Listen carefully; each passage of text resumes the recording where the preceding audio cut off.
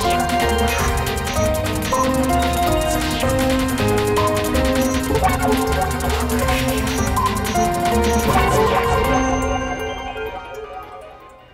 Olá, bom dia. Estamos no ar com o repórter NBR e as notícias do governo federal desta quarta-feira, 5 de julho. O presidente Michel Temer, por meio do porta-voz da presidência, agradeceu a aprovação pelo Senado do requerimento de urgência do projeto que moderniza a legislação trabalhista brasileira. Vamos então ao Palácio do Planalto saber os detalhes com a repórter Gabriela Noronha. Olá, Gabriela, bom dia para você.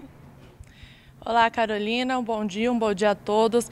É isso mesmo. É, segundo Parola, a, vota a votação da urgência da reforma trabalhista, que tramita no Senado com 46 votos favoráveis e 16 contra, mostra que as reformas levadas adiante pelo governo já trazem resultados concretos que confirmam a retomada do crescimento com geração de emprego e renda no país. A votação do projeto no plenário do Senado deve começar na terça-feira que vem. Na mensagem, o presidente Michel Temer também destacou os últimos dados positivos da economia, como o crescimento da venda de veículos novos no Brasil. Vamos ouvir um trecho da fala do porta-voz.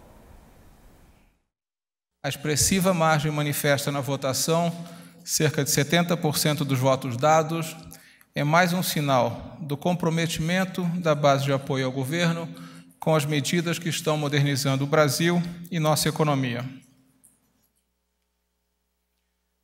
Os resultados concretos dessas medidas, levadas adiante pelo presidente Michel Temer, já se fazem sentir no cotidiano das pessoas e nos números da economia brasileira. A Confederação Nacional da Indústria, CNI, divulgou ontem pesquisa que mostra que as vendas das fábricas brasileiras aumentaram em maio 5,5%. A utilização da capacidade instalada na indústria também melhorou e está em 77,4%. Na área do comércio exterior, o Brasil teve em junho o melhor resultado para o mês da série histórica, ou seja, desde 1989. Tivemos um superávit em junho de mais de 7 bilhões de dólares, as exportações cresceram quase 24% em comparação com o mesmo mês do ano passado. No primeiro semestre do ano, o saldo comercial acumulado de 36 bilhões de dólares e 219 milhões também é um recorde histórico. Hoje, novos dados positivos confirmam o diagnóstico de retomada do crescimento com geração de empregos e renda. A venda de veículos novos no Brasil subiu em junho 13,49%, sendo o segundo mês de crescimento consecutivo. Esse mercado não apresentava expansão na primeira metade do ano desde 2013. E agora falando um pouco sobre a agenda do presidente Michel Temer. Hoje, durante toda a manhã, o presidente deve se reunir com deputados no Palácio do Jaburu, incluindo o presidente da Câmara, deputado Rodrigo Maia, e também com o ministro do Meio Ambiente, Sarney Filho. À tarde, aqui no Palácio do Planalto, o presidente se reúne com o ministro da Indústria, Comércio Exterior e Serviços, Marcos Pereira. Volto com você no estúdio, Carolina. Obrigada, Gabriela Noronha. Bom trabalho para você. E pelo Twitter, o presidente Michel Temer falou sobre um artigo de sua autoria que foi publicado em vários jornais.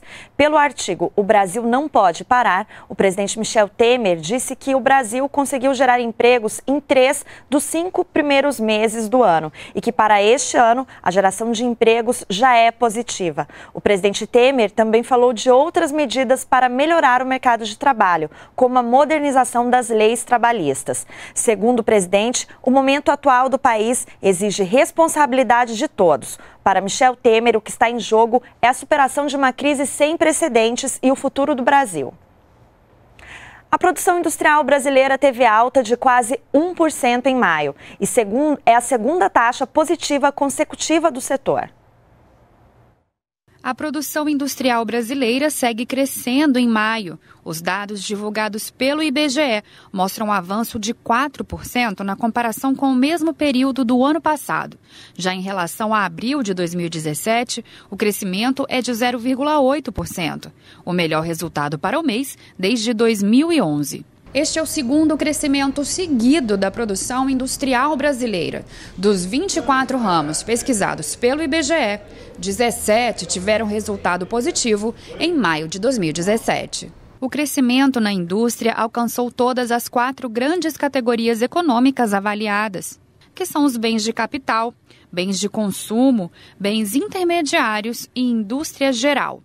A principal influência positiva foi da produção de veículos automotores, com avanço de 9% entre abril e maio.